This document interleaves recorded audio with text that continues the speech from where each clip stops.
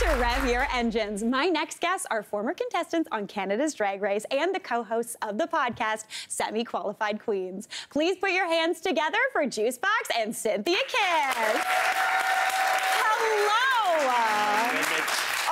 First off, we were talking backstage, we kind of all match. Little bit. Yes. I We like the planned it. transition. It's like yellow, pink, pink, yellow. Oh my gosh, good. perfect. We're like a like a sandwich. It's very, very good. Okay, so I am so so excited that you're here. Juice, you were on season one of Drag Race, Yeah, yeah. and Synthia, you were on season two. Season two. Okay, so how did you start semi-qualified queens? You have your podcast. How did you Mm-hmm. guys come together? we had friends, mutual friends, Yeah. and they said that they remind we reminded them of like they saw each other in us. Okay. And so then when we had a gig together, I think was it your idea or was it my It was idea? no, it was our manager. We have this manager, Tommy D, Yeah. with uh, TFT Presents, and he Yeah. goes to us and he was just like, "You two need to make a podcast because you sound exactly alike, you act exactly alike. Yeah. You just need to do it." So then when we met, we had a gig in Calgary, and then we were just like, "Let's just do it. Ah, do it. Let's do it." and That's then we did amazing. it. Honestly, it's so good. I love how things come together. Right. And you can just meet somebody new and like and again form this bond and form this Totally. relationship and get to talk about a shared experience Yes. Mhm. on on the podcast. 100 episodes and Oh. a Canadian Podcast Award later. No big deal. Absolutely huge. Yeah, so crazy. It just might work. yeah. so with semi-qualified queens, so do you have any like most memorable moments for for either of you um, with the podcast in general?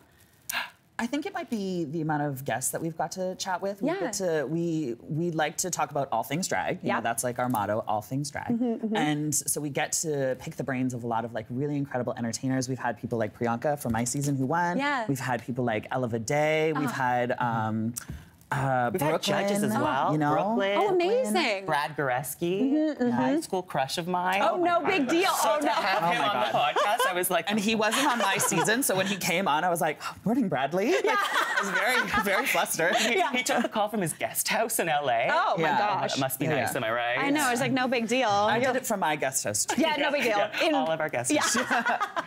now, you have both taken this podcast on the road, correct? With your tour. Yes. That's absolutely amazing. Um, so tell us a little bit what it's like taking a podcast from from recording to actually like on stage. This energy, you can feel it, right? Live audiences. Yes. The mm-hmm. instant applause, the laughter. Yeah. It's just, it hits different than recording. You know, we're coast to coast, so we're doing it over webcam. Yeah. Mm-hmm. Like that, that can just feel different. So Yeah. the instant response from an audience, Yeah. oh, isn't it the best? Yeah, it's great. Yeah. And we really wanted to take something that we have and kind of tried to do something good with it. Yeah. So we get to showcase local talent and have these incredible guests who aren't drag race girls or Mm-hmm. entertainers who are like judges and stuff. They're people who are working within local communities Yeah. and we're putting our drag race spotlight onto them Yeah. and interviewing them in our show.